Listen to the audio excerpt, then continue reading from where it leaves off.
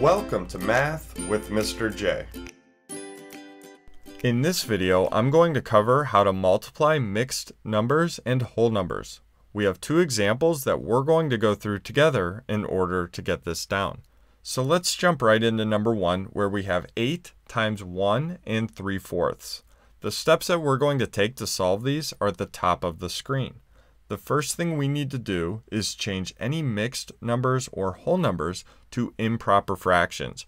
That way we have numerators, top numbers, and denominators, bottom numbers, and we can multiply straight across. So for the whole number 8, all we need to do for whole numbers is put them over 1 to change them to a fraction. So pretty simple for whole numbers. Now mixed numbers, we need to start at the bottom and work our way up. So we multiply and then add. We do 4 times 1 is 4, plus 3 is 7. We keep the denominator of 4 the same. So now we have the mixed number and whole number in fractional form. We have numerators and denominators. Now we can multiply straight across. But before doing so, you can check to see if you can use cancellation, cross cancellation. This will help simplify the problem before we multiply. And in the case of number one, we can use cross cancellation. So you're looking for common factors between the numerators and denominators. So for example, our 8 and 4 have a greatest common factor of 4. So we can divide both by 4. 8 divided by 4 is 2 and 4 divided by 4 is 1. So we now have easier numbers to work with here. So we simplified the problem. You can think of it as simplifying the problem before you multiply. So 2 times 7 is 14. 1 times 1 is 1. So we end up with an improper fraction there, 14 over 1, which is just 14. We can write it as a whole number. Now I do want to mention when it comes to cross cancellation, if you're not fully understanding that, I do have a video that goes into further detail. I'll drop that link down in the description. If you do not use cross cancellation, you will still get to the correct answer. Um, let's actually do that. So we had 8 over 1 times 7 over 4. So let's do it without cancellation and see what happens. 8 times 7 is 56. 1 times 4 is 4. So we got 56 over 4 instead of 14 over 1. But we need to simplify here. We have an improper fraction. We need to um, convert this to a mixed number, or maybe it works out to a whole number. So we do that by dividing the numerator 56 by 4. So 56 divided by 4 does work out to be 14. So you can see that we got the same answer. On to number two, where we have 2 and 5 sixths times 7.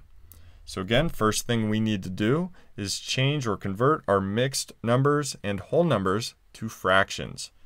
So let's do our mixed number here. Start at the bottom, multiply, and add. So 6 times 2 is 12, plus 5 is 17. Keep the denominator of 6 the same times. Remember, for any whole numbers, we can just put it over 1 to put it in fractional form. So 7 over 1 there. Now, let's see if we can use any cancellation in order to simplify this problem before multiplying.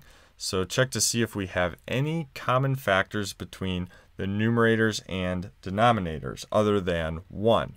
But in the case of number 2, the only common factors we have uh, between you know 6 and 7, 17 and 1 is 1. So we cannot use cancellation. So we go right to multiplying straight across. And we'll start with 17 times 7, which we can come to the side to solve. 7 times 7, 49. 7 times 1 is 7, plus 4, 11. So we get 119. 6 times 1 is 6. So we end up with an improper fraction, which we need to change to a mixed number and then see if we can simplify any further if we have any fractions involved um, after we do that.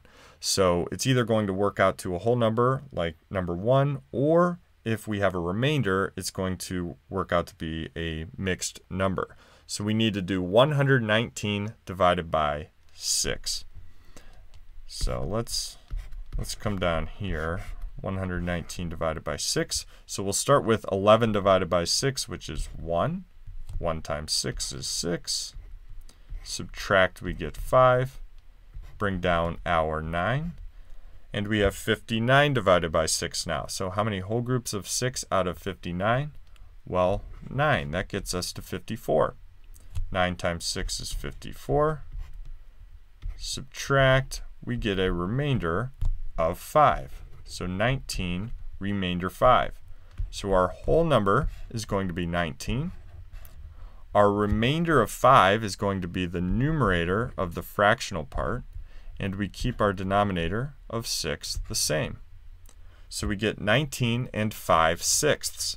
Now we do need to look to see if we can simplify any further, but 5 sixths is in simplest form, so we are done. Our final answer is 19 and 5 sixths. So there you have it. There's how you multiply mixed numbers and whole numbers. I hope that helped. Thanks so much for watching. Until next time, peace.